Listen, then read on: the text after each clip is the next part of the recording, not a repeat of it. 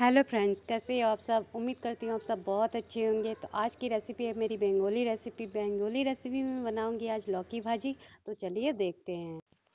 तो लौकी भाजी के लिए लिया है मैंने यहाँ पे पाँच से छः हरी मिर्च, दो टमाटर, थोड़ा सा अदरक, थोड़ा सा धनिया पत्ता।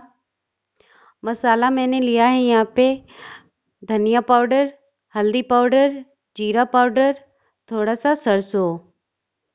तो मैंने यहाँ पे एक लौकी लिया था, उसको पहले से छील लिया, फिर छील के धो के काट लिया है यहाँ पे।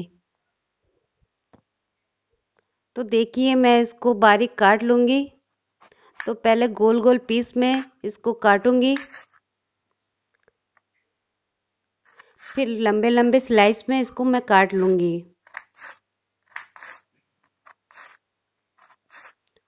तो आप देख सकते हैं, मैंने लंबे लंबे स्लाइस में काट लिया है लौकी को। तो मैंने यहाँ पे एक लौकी पूरा ऐसे ही काटा है।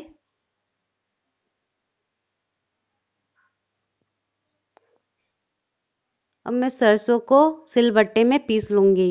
सिलबट्टे में पीसने से थोड़ा सिलबट्टे का स्वाद अलग आता है। आप आप सरसों को ग्राइंडर में भी पीस सकते हो। तो मैंने यहाँ पे सिलबट्टे में पीसा है। तो सरसों को बारीक पीस लेना है। तो देखिए मैंने सरसों को बारीक एकदम पेस्ट बना लिया है। एकदम मिहीन सा पेस्ट बन गया है मेरा सरसों। अब मैं इसको एक कटोरी में निकाल लूँगी। तो कटोरी में मैंने निकाल लिया है। यहाँ पे मैं अदरक और हरी मिर्च को भी इसी सिलबट्टे में पीस लूँगी।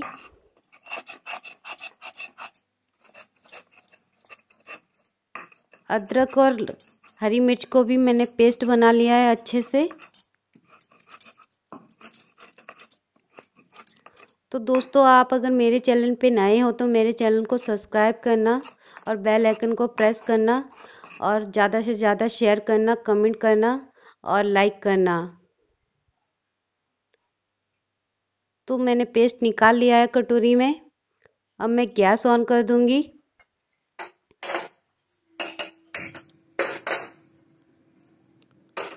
गैस ऑन करने के बाद मैं कढ़ाई को बैठा दूँगी। कढ़ाई गरम होने दूँगी। तो कढ़ाई मेरा गरम हो गया है। अब मैं इसमें तेल ऐड कर दूँगी।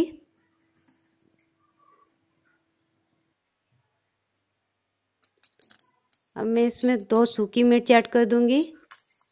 फिर सरसों ऐड कर दूँगी। फिर सरसों को थोड़ा चटकने दूँगी।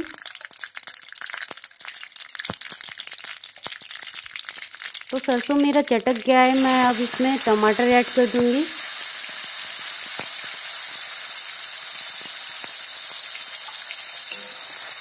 टमाटर को मैं थोड़ा सा ही हिला लूँगी।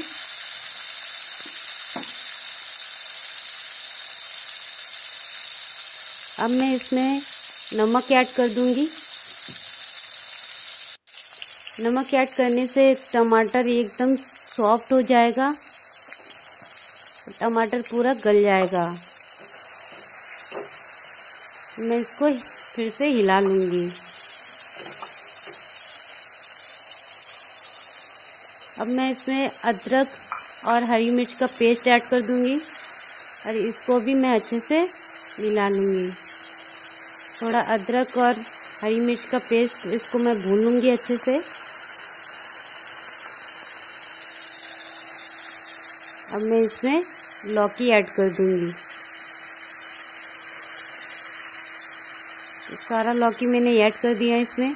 अब मसाले के साथ मैं इसको मिला लूँगी थोड़ा।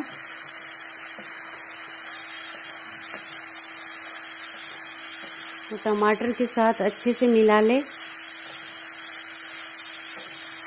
लौकी को ऐसे पाँच मिनट तक मिलाते रहे।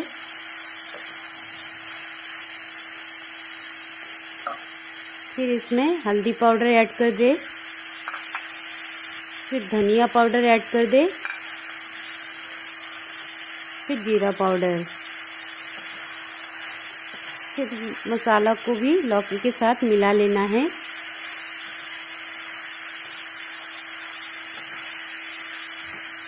लौकी में से ऐसे ही पानी निकल जाएगा तो इसमें पानी नहीं चाहिए। पानी नहीं डालना पड़ेगा, लौकी में से ऐसे ही पानी निकलता है। अब मैं इसको पाँच दस मिनट के लिए ढक दूँगी। तो पाँच दस मिनट के बाद मैं ढक्कन को हटा लूँगी। तो देखिए, लौकी में से देखिए पानी निकला है। अब मैं इसको हिला लूँगी अच्छे से।